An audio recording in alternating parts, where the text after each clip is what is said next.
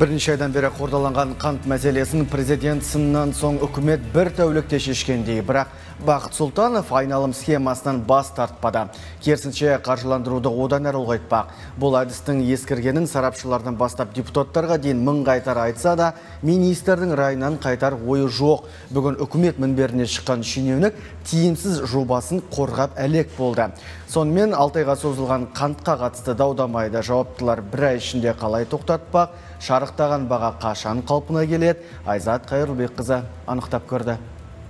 Президенттің қаһарына ұшыраған үкімет мүшелері бүгін шұғыл түрде жиналып жиын өткізді. Әдеттегідей көгілдір экранның ар жағына топтасқан шенділер мемлекет басшысының әр тапсырмасын бұлжытпай орындайтынын жарыса айтты. Ол үшін дәстүр бойынша кешенді жоспар, ақпараттық жүйе және түрлі бағдарламаларды іске асырмақ. Арасында Қасым Жомарт Тоқаевтың өзі ұсынған азық-түлік қауіпсіздігінің бірыңғай порталы да бар сауда және интеграция министрлігімен бірлесіп әлеуметтік маңызы бар азық түлік тауарларының бар жоғы және оның қорлары туралы деректерді автоматтандыру және интеграциялау бойынша жұмыс күшейтіледі.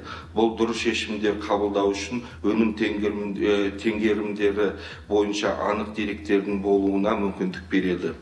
Бағдарлама бірінші кезекте дауға айналған құмшекерге басымдық бермек. Әсіресе қант қызылшасы үшін суармалы жерлерді пайдаланып, су үнемдеу технологиясын қолданбақ. Сондай-ақ зауыттарды қайта жаңғырту қолға алынады. Қазір елдегі білдей жеті зауыттың төртеуі ғана жұмыс істейді. Оның өзінде толық емес біздегі республикада бүгінгі жұмыс істеп тұрған жамбыл облысы мен алматы облысындағы қант зауыттары олар өздерінің жалпы жаңағы түгел полный мощностьқа жұмыс жасамайды мәселен он екі айдың ішінде бір екі ай үш ай жұмыс жасайды қалған уақытта тұрады.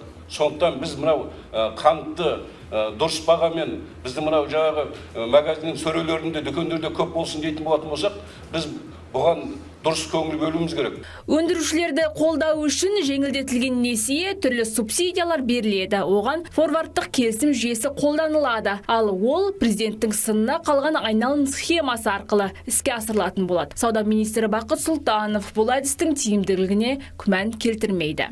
Айналым схемасы құралының тиімділігіне қатысты бүгінгі таңда инфляцияның айтарлықтай импортына және дүрлікпе сұраныстық пайда болуына байланысты жаңа жағдайда пандемиялық және геосаяси шектеулердің нәтижесінде бұл тетік өзінің тиімділігін көрсетті.